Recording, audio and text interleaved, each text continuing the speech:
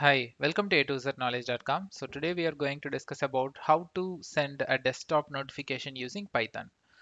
So let's get into the practical stuff. Okay, so here, uh, let me first tell you the prerequisite, uh, the packages that which you need to install. So there is a package called PyNotifier. That is something you have to install. You can do it via pip command or you can go ahead with your interpreter, whatever the IDs that you are using. So with, for example, if it is PyCharm file settings and then under project interpreter, you can click this and then you can search for your packages and then you can do an install. And if you are doing the same exercise in Windows, then you need one more package which is Win10toast AST. So this is something you have to install as a again by a pip command you can do it.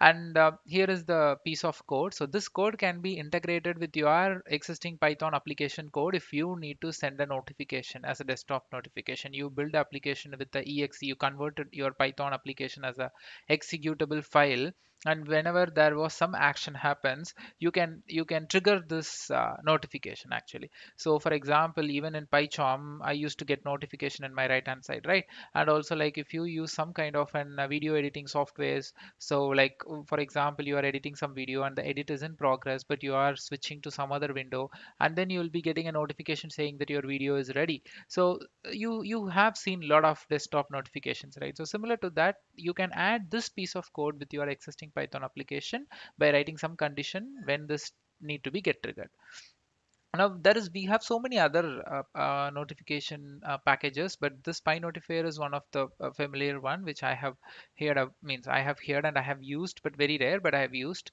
So you can see here it's it looks like a key value pair json kind of stuff but it's it's not a complete json but i'm just telling you like that. It it it, it resembles in that way.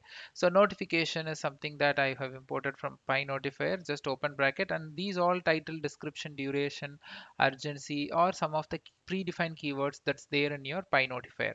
So title a to z knowledge.com description welcome to a to z knowledge.com you have three unread message so just a dummy message.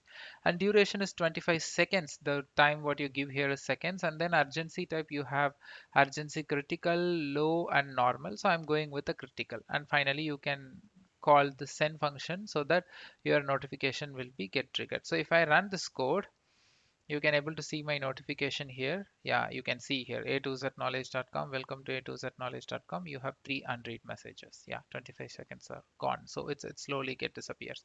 So even you can add icon to the thing. So uh, you can add icons to your notification as well okay so this video agenda is just to explain you uh, like how to make this desktop notification. And even this is supported for linux as well. You can run the same code in linux as well. So thanks for watching a to knowledge.com please do subscribe channel forward this to your friends and colleague. We do a lot of tech videos in two languages english and tamil.